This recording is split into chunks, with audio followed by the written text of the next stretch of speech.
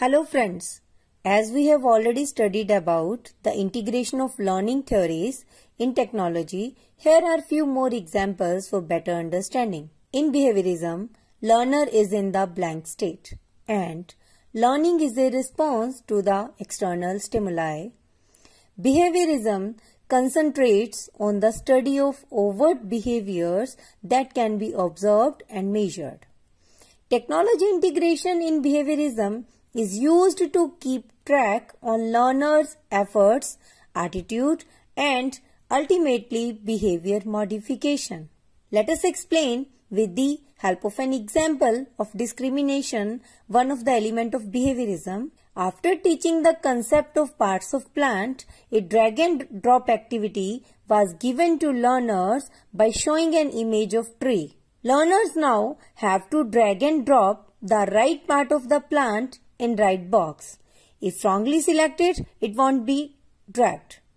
Thus, right behavior is promoted by reinforcement by putting right part in the right place. Similarly, the concept of association can be taught with the help of an activity where a picture of house is shown and learners have to identify the shapes of quadrilateral and associate them by showing a small video clip of a house with integration of different shapes through different objects.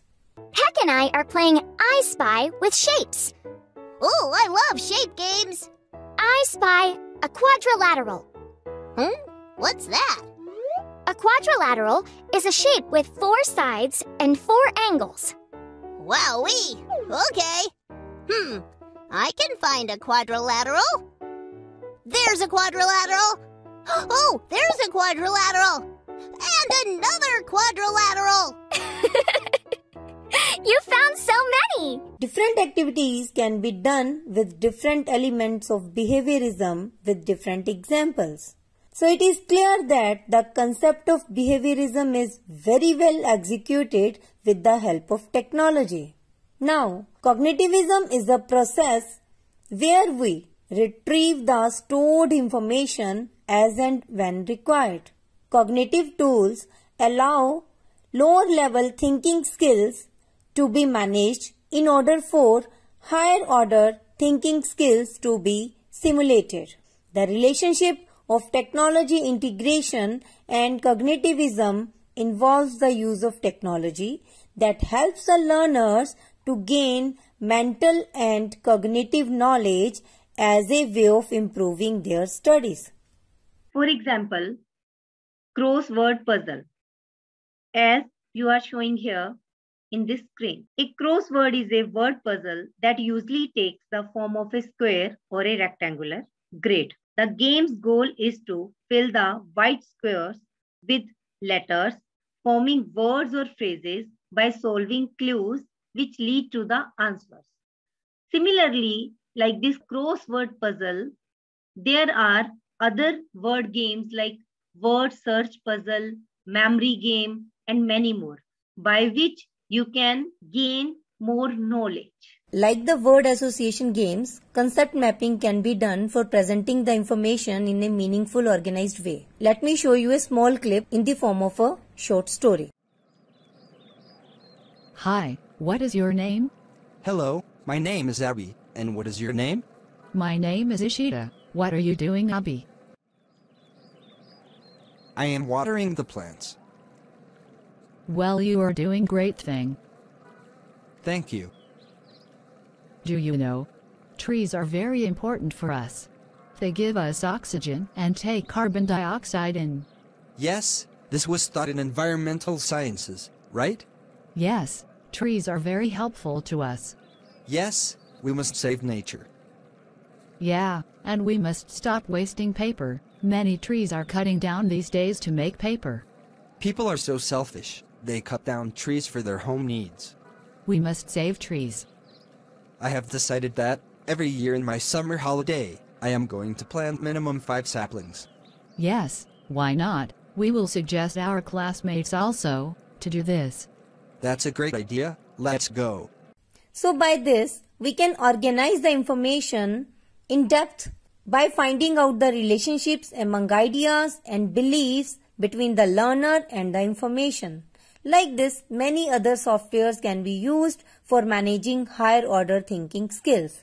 Regarding constructivism, constructivism is a learning theory based on the premise that we construct learning of new ideas based on our prior knowledge and experience. The learning occurs in this theory through interaction. The information is received through the guidance of a peer or instructor and the social interactions contribute to the construction of knowledge. Memory is always under construction as a continuous process of information which is cumulative history of interactions and representative experience. In technology integration, here the learner engagement is fostered by active participation of the use of technology in a constructivist perspective. Technology helps constructivist approaches by empowering learners and teachers to create and apply modern technologies that lead to consider memory, information processing and other aspects of learning in the mind. For example, Padlet. Padlet is a web-based collaborative tool that organizes a virtual wall that allows both teachers and students to express their thoughts. In the virtual wall of Padlet, we can share images, videos, documents, slides, texts, links of e-content. Padlet increases the cooperation and collaboration among learners as we can access the virtual wall anywhere, anytime and share the virtual wall by generating link, embed code, PDF, image or using other online tools. As you have shown here in this particular Padlet, learners have shared their self-prepared videos on a particular topic of vocational education and experiential learning. They have discussed their views with each other in this particular wall of Padlet. The established learning theories of behaviorism, cognitivism and constructivism each contribute in unique ways to the design of online materials through their ideas of how learning takes place. In connectivism, it is the collective connections between all the nodes in a network that result in new forms of knowledge.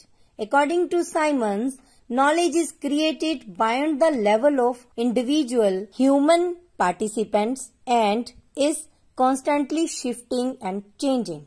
The factor that influences learning in connectivism is the diversity of network, strength of ties and context of occurrence. Today, our networks are explicit in tools like Facebook, Twitter, Google Drive and LinkedIn. These services provide users the ability to analyze how they are connected to others and share the information. Connectivism is core skill detecting connection between idea and is a learning theory for the digital age. Technology integration is the effective implementation of educational technology to accomplish intended technology outcomes. For example, with the aid of multimedia, a learner can experience a computer-based environment on Mars while still being supported by their larger classroom settings. Even the propagation has changed the educational landscape by developing MOOCs, massive open online courses that helped in the creation of new opportunities for learning. The another initiative is the creation of virtual labs. Virtual Lab is an initiative of Ministry of Education under the National Mission on Education through ICT. In this website, many virtual labs has been established. Let me take an example of a virtual lab under the broad area of chemical sciences. Here, I am taking a topic of acid-base titration. As you saw here, all the material related to the topic is given. And you can do a virtual practical of acid-base titration by doing virtual experiment also. So by this way, you can take a practical experience virtually. Like this many other softwares are available, you just need to explore related to your topic. So in the nutshell, the proper integration of technology with a clear view of theories of learning in mind can guide the educators in infusing technology into the classrooms in all levels of educational system.